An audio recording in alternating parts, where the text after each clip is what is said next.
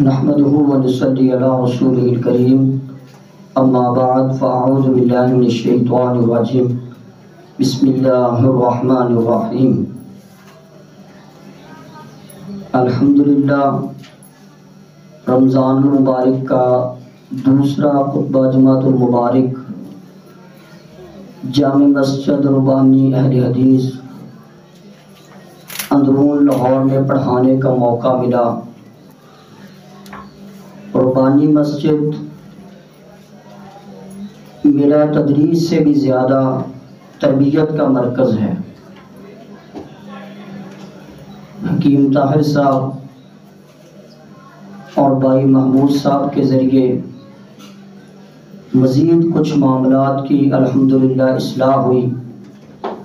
اور اس مرکز میں چونکہ حافظ یوسف صاحب لاہوری حافظہ اللہ تعالی اور محترم بھائی سجاد حمید صاحب، حفظہ اللہ تعالی جیسے باعمل لوگ موجود ہیں، سنت کے قریب اقرب السنہ۔ تو ان جیسی باعمل شخصیات کے ذریعے فقیر اللہ کو سیکھنے کا بہت زیادہ موقع ملا۔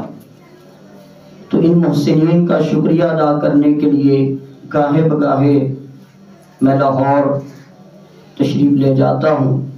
اس لیے کہ بہت ساری خیر وہاں سے سمیٹیں، اپنی اصلاح کریں اور وہ چیزیں جس میں ہماری اصلاح ہو، ان کے ذریعے سے اپنے طلبہ و طالبات کی اصلاح کریں۔ اللہ تعالی ہمیں زندگی بھر اپنی اصلاح کرتے رہنے کی توفیق عطا فرمائے اور اس طرح کے محسنین کا سایہ ہمارے اوپر سلامت رکھے۔ کہ جن کے ذریعے سے ہماری دیگر معاملات میں اصلاح ہوتی رہتی ہے۔ آپ لوگوں کی اصلاح تو ہم کرتے رہتے ہیں، لیکن اپنی اصلاح کے لیے علمی شخصیات کو، باعمل شخصیات کو ادارے میں بھی بلاتے رہتے ہیں۔ اور کبھی ایسا موقع نہ ہو تو گاہے بگاہے ملاقات کر کے اپنی اصلاح کر لیتے ہیں۔ اور یہ چیز بہت پسند ہونی چاہیے ہر ایک طالب علم کو کہ وہ اپنے سارے معاملات کی دین کے لحاظ سے اصلاح کرتا رہے۔